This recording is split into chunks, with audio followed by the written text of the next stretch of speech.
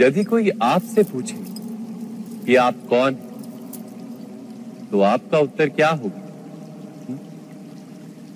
विचार कीजिए।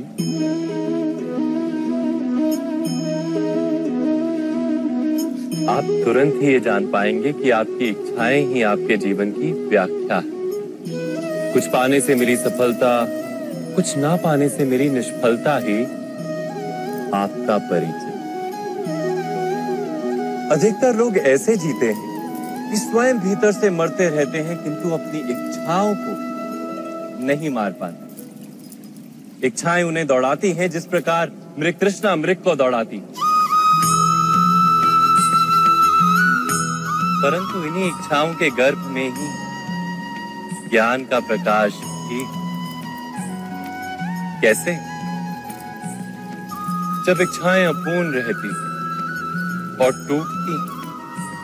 तब वहीं से ज्ञान की किरण प्रवेश करती है मनुष्य के हृदय ना, ये कथा नहीं है केवल इच्छाओं के संघर्ष की। नहीं है केवल महत्वाकांक्षाओं से जन्म लेने वाले भयावह रक्तपात ये कथा है इच्छाओं के गर्भ से उदित होते हुए ज्ञान मैं